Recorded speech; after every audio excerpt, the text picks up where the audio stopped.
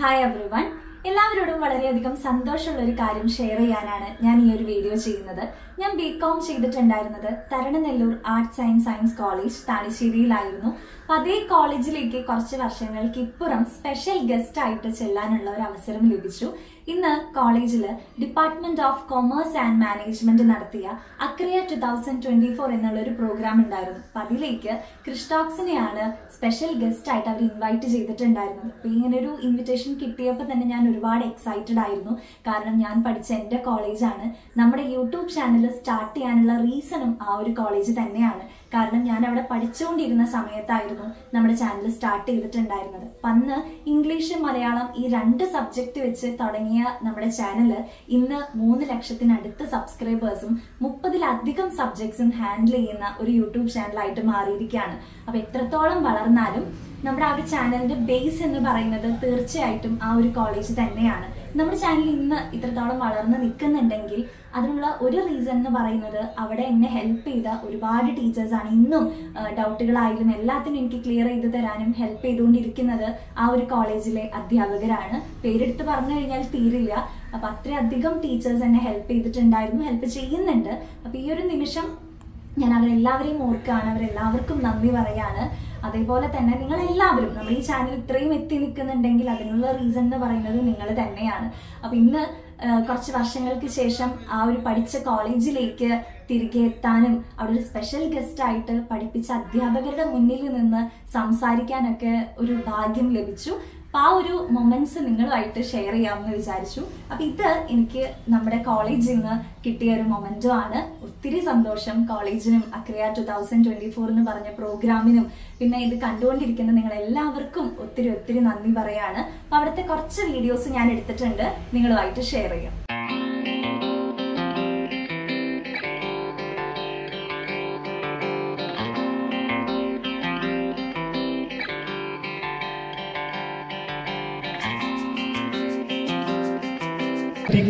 Talks എന്നൊരു YouTube channel സ്വന്തമായിട്ട് run ചെയ്യുന്നതും നിങ്ങൾക്ക് ഏറെ പ്രിയപ്പെട്ട കൂട്ടുകാരിയാണ് എന്നത് മനസ്സിലാക്കി. കൃഷ്ണേന്ദ്രൻ ഈ അവസരത്തിൽ ഒരു കൈയടി കൊടുക്കണം കാരണം യൂട്യൂബ് എന്ന് പറയുന്ന ഇന്നത്തെ കാലഘട്ടത്തിൽ ഏറ്റവും കൂടുതൽ ആളുകളുടെ ശ്രദ്ധ ക്ഷണിക്കുന്ന ഒരു മീഡിയ പ്ലാറ്റ്ഫോമിൽ പ്രത്യേകിച്ച് അങ്ങനെ വലിയ പൂർവപരിചയമൊന്നുമില്ലാതെ സ്വന്തമായൊരു പരീക്ഷണം നടത്തി. അവിടെ ഏകദേശം മൂന്ന് ലക്ഷത്തോളം സബ്സ്ക്രൈബേഴ്സിനെയും എണ്ണൂറോളം വീഡിയോസ് സ്വന്തമായിട്ട് പബ്ലിഷ് ചെയ്തുകൊണ്ടും അവനവന്റെ ആത്മവിശ്വാസത്തോടു കൂടി അതിലൂടെ തെറ്റില്ലാത്തൊരു പ്രതിഫലവും എല്ലാ മാസവും കൃഷ്ണന് സ്വന്തമാക്കുന്നുണ്ട് നാം മനസ്സിലാക്കുന്നത്. വലിയ മാതൃകയാണ്.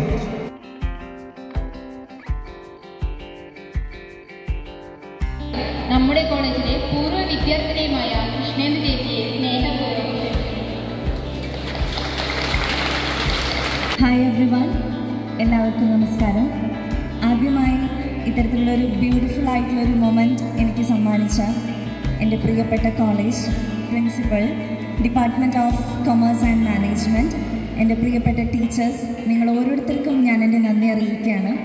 കാരണം എന്നെ സംബന്ധിച്ചിടത്തോളം ഇത് ചെറിയൊരു മൊമെന്റ് അല്ല.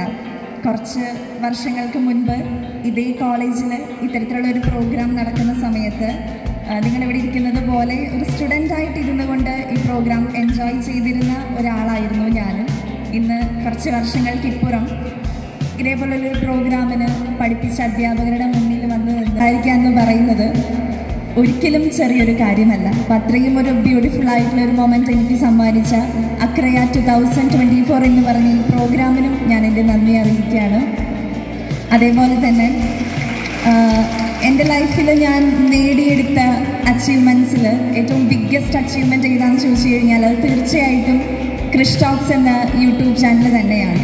അത്തരത്തിലുള്ളൊരു ചാനൽ തുടങ്ങാനുള്ള റീസൺ അല്ലെങ്കിൽ അതിന്റെ ഒരു ബേസ് എന്ന് പറയുന്നത് നമ്മുടെ ഈ ഒരു കോളേജാണ് കാരണം ഞാൻ ഈ ഒരു കോളേജിൽ പഠിച്ചുകൊണ്ടിരിക്കുന്ന സമയത്താണ് ഇങ്ങനൊരു യൂട്യൂബ് ചാനൽ സ്റ്റാർട്ട് ചെയ്യുന്നത്. അപ്പം അതിന് മുന്നേ പ്ലസ് ടുവിലൊക്കെ പഠിക്കുന്ന സമയത്ത് എക്സാം ടൈം ആവുമ്പോൾ ഫ്രണ്ട്സിനൊക്കെ ഇങ്ങനെ പറഞ്ഞു കൊടുക്കായിരുന്നു. ഇംഗ്ലീഷും മലയാളവും ഒക്കെ ഷോർട്ടാക്കിയിട്ട് എക്സാം ടൈമിൽ ഇങ്ങനെ പറഞ്ഞു കൊടുക്കായിരുന്നു. അപ്പം അതിനുശേഷം കോളേജിലേക്ക് എത്തിയപ്പം എല്ലാ ഫ്രണ്ട്സും സ്പ്ലിറ്റായി പല കോളേജുകളിലേക്ക് പോയി. അപ്പോൾ ആ ഒരു സമയത്താണ് എന്നെ കൊണ്ട് പറ്റുന്ന രീതിയിൽ അവർക്ക് വാട്സപ്പിലൂടെ വോയിസുകൾ അയച്ചു കൊടുത്തിരുന്നത്. അപ്പം അങ്ങനെ അവരാണ് പറയുന്നത് ഇങ്ങനെ ഒരു ഐഡന്റിറ്റി ഇല്ലാതെ ആ വോയിസ് പിന്നെ കറങ്ങിത്തിരിഞ്ഞ് എന്റെ അടുത്തേക്ക് തന്നെ എത്തും. അപ്പോൾ അങ്ങനെ കറങ്ങി തിരിഞ്ഞ് നടന്നപ്പോൾ ഒരു ഐഡന്റിറ്റി ഇല്ലാതെ അല്ലേ പോകുന്നതെന്ന് വിചാരിച്ചിട്ടാണ് അവരുടെയൊക്കെ ഒരു റെക്കമെൻഡേഷൻ ത്രൂ ഇങ്ങനെ ഒരു യൂട്യൂബ് ചാനൽ സ്റ്റാർട്ട് ചെയ്യുന്നത്.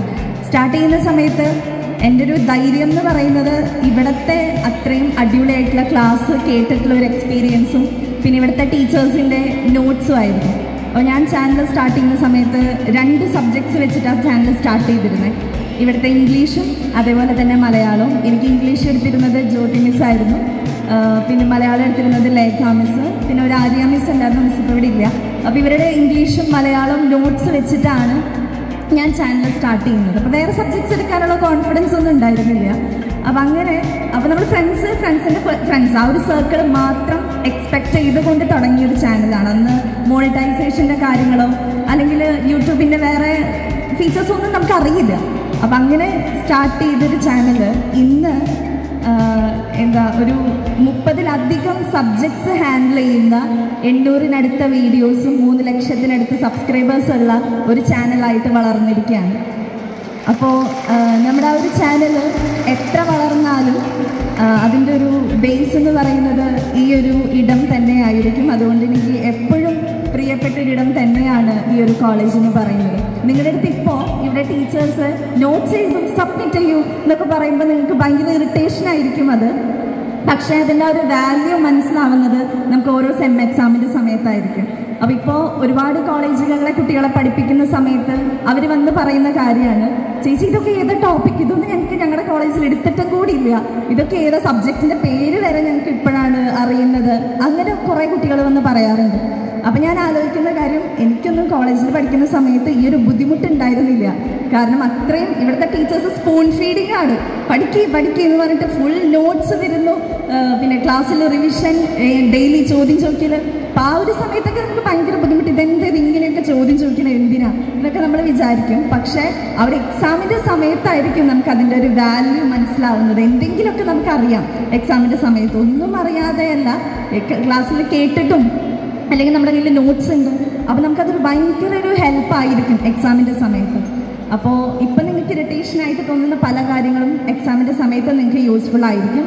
അതേപോലെ തന്നെ ഇപ്പോൾ കുറച്ച് കുട്ടികളൊക്കെ എന്റെ അടുത്ത് വന്ന് പറയുന്ന കാര്യമാണ് ചേച്ചി എനിക്ക് നാല് സപ്ലി ഉണ്ട്. അല്ലെങ്കിൽ അഞ്ച് സപ്ലി ഉണ്ട്. അത് ഭയങ്കര ക്രെഡിറ്റ് ആയിട്ടാണെന്ന് പറയാം. അപ്പോൾ ഞാൻ പറയും ഇതൊക്കെ എപ്പോഴും എഴുതിയെടുക്കുക ഇനി? അപ്പോൾ മൂന്ന് വർഷത്തെ ഇപ്പോൾ ഫസ്റ്റ് സെമ്മിലൊക്കെ സപ്ലി വാങ്ങിച്ചാലും നമുക്ക് ആ ഒരു മൂന്ന് വർഷത്തിൽ എഴുതിയെടുക്കാം. പക്ഷെ ലാസ്റ്റ് സെമ്മുകളിലൊക്കെ സപ്ലി വാങ്ങിച്ചു കഴിഞ്ഞാൽ പിന്നെ ഒരു വർഷം നമ്മളതിന്റെ പിന്നാലെ നടക്കേണ്ടി വരും. അപ്പോൾ നമ്മൾ അത്രയും ഒരു വാല്യൂബിൾ ടൈമാണ് പിന്നെയും നമ്മൾ സ്പെൻഡ് ചെയ്യുന്നത്. അപ്പം അങ്ങനെ നമ്മൾ സമയം ചെലവഴിക്കുമ്പോൾ ഡിഗ്രി കഴിഞ്ഞ് കറക്റ്റായിട്ടൊരു കോഴ്സിനോ അല്ലെങ്കിൽ നിങ്ങൾക്ക് ഇഷ്ടപ്പെട്ട ഒരു ജോലിയിലേക്കോ എത്താനായിട്ട് നിങ്ങൾക്ക് സമയമെടുക്കും. അപ്പോൾ ഇഷ്ടപ്പെട്ട ജോലിയിലേക്ക് എത്താൻ സമയമെടുക്കുമ്പോൾ നിങ്ങൾ കിട്ടുന്ന പണിക്ക് പോകേണ്ടി വരും. കറക്റ്റായിട്ടൊരു കോഴ്സൊന്നും ചെയ്യാതെ കിട്ടുന്ന പണിക്ക് പോകേണ്ട ഒരു സിറ്റുവേഷൻ വരും. അപ്പോൾ അങ്ങനെ പോയി കഴിഞ്ഞാൽ നമ്മുടെ മുഴുവൻ സ്കില്ലും നമുക്ക് അവിടെ കൊടുക്കാൻ പറ്റില്ല. കാരണം നമ്മൾ ഇഷ്ടപ്പെട്ട ഒരു ജോലിയല്ല. അപ്പം അതുകൊണ്ട് നമ്മൾ പൂർണമായിട്ടും നമ്മുടെ സ്കില്ല് നമുക്ക് അവിടെ കൊടുക്കാൻ സാധിക്കില്ല. അപ്പം അങ്ങനെ ഒരു ഇഷ്ടപ്പെട്ട ഒരു ഫീൽഡിലേക്കൊക്കെ പോകണമെന്നുണ്ടെങ്കിൽ നിങ്ങൾ ഇപ്പോഴേ തന്നെ അതിന് ഹാർഡ് വർക്ക് ചെയ്യണം. സപ്ലി ഒന്നും ഇല്ലാതെ അത്യാവശ്യം നല്ല മാർക്കോടും കൂടി പാസ്സാകണം അങ്ങനെ ഒരു ഇഷ്ടപ്പെട്ട ഒരു ഫീൽഡിൽ എത്തുകയാണെങ്കിൽ നിങ്ങൾക്ക് അവിടെ കഷ്ടപ്പെടേണ്ടി വരില്ല.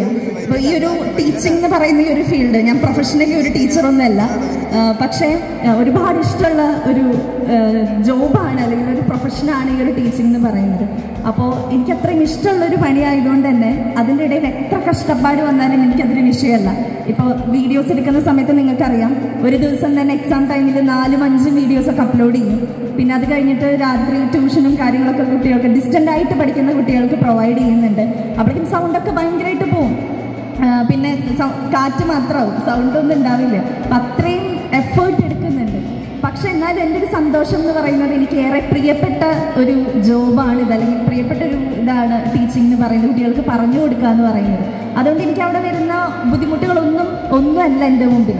അപ്പം അതുകൊണ്ട് നിങ്ങൾക്കും അതേപോലെ ഒരു ഇഷ്ടപ്പെട്ട ജോലിയിലേക്ക് എത്താണെങ്കിൽ അവിടെ എത്ര തരം ബുദ്ധിമുട്ടുകൾ വന്നാലും നിങ്ങൾക്കത് ഹാൻഡിൽ ചെയ്യാൻ സാധിക്കും.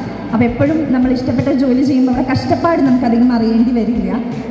അതുകൊണ്ട് അത്രയും ലെവലിലേക്കൊക്കെ എത്തണമെങ്കിൽ ഇപ്പോഴേ അതിനുള്ള ഹാർഡ് വർക്കും കാര്യങ്ങളും നിങ്ങൾ ചെയ്യണം. സപ്ലി ഒന്നും ഇല്ലാതെ അത്യാവശ്യം നല്ല മാർക്കോട് കൂടി പാസ്സാവണം അപ്പോൾ അതിന് നിങ്ങൾക്ക് ദൈവം അനുഗ്രഹിക്കട്ടെ. എല്ലാവിധ ആശംസകളും നിങ്ങൾക്ക് നേരുന്നു. ഒരിക്കൽ കൂടി ഈ ഒരു പ്രോഗ്രാമിനും ഇവിടെ സംസാരിച്ച എല്ലാവർക്കും നന്ദി പറഞ്ഞു. സ്വാഗതം. ആശംസിച്ച എന്റെ പ്രിയ കൂട്ടുകാരി ശ്രേയയ്ക്കും എല്ലാവർക്കും നന്ദി പറഞ്ഞുകൊണ്ട് ഞാൻ എന്റെ വാക്കുകൾ നിർത്തുന്നു. നന്ദി നമസ്കാരം.